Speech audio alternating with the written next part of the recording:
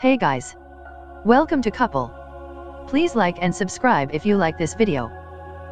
Representative Maxine Waters, D. California, on Sunday criticized President Trump's meeting last week with Russian President Putin, and called the former apprentice star Putin's apprentice. Waters, who was on MSNBC's AM Joy, said she was not surprised by the amount of criticism the president received. In fact, for months I've been trying to tell the American public that this president is dangerous and that he's in bed with Putin, Waters told host Joy Reid. Don't forget this president can't borrow money in the United States from any bank. This president is looking at Russia for his new money, financial playground.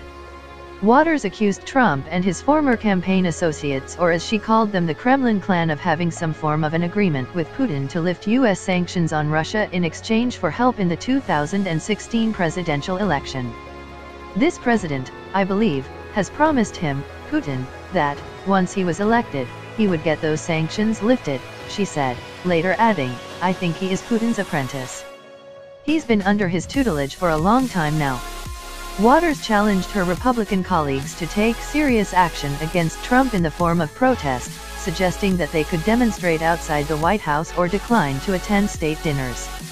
Waters has been a longtime opponent of Trump, consistently referring to him as an illegitimate president and has repeatedly called for his impeachment.